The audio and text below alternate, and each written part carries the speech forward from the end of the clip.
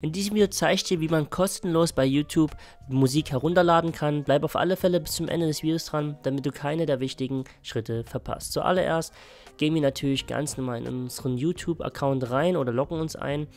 Und da habe ich hier ganz normal meinen Account. Und dann gehen wir auf YouTube Studio. Nachdem wir darauf geklickt haben, siehst du hier ganz normal dein YouTube Studio. Eben hier kannst du Videos hochladen, Inhalte, eben Analytics, kannst du alles analysieren und wir brauchen aber, wenn wir weiter runter scrollen, die Audio-Mediathek. Wir klicken da einmal drauf und hier siehst du enorm viele Songs, Soundeffekte etc.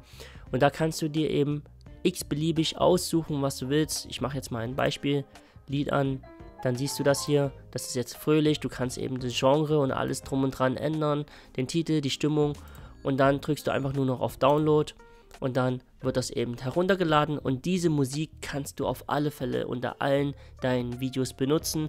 Es ist alles kostenlos, also es ist keine ähm, Lizenz in dem Sinne von irgendjemandem, es ist alles lizenzfrei und da kannst du eben auch ganz normal Werbung schalten und dafür auch Geld bekommen. Aber so einfach und so simpel kannst du kostenlos YouTube-Musik herunterladen. Und in der Endcard habe ich noch einen Megatipp zu YouTube verlinkt. Schau es dir auf alle Fälle an. Und damit sage ich, wir sehen uns gleich im nächsten Video wieder.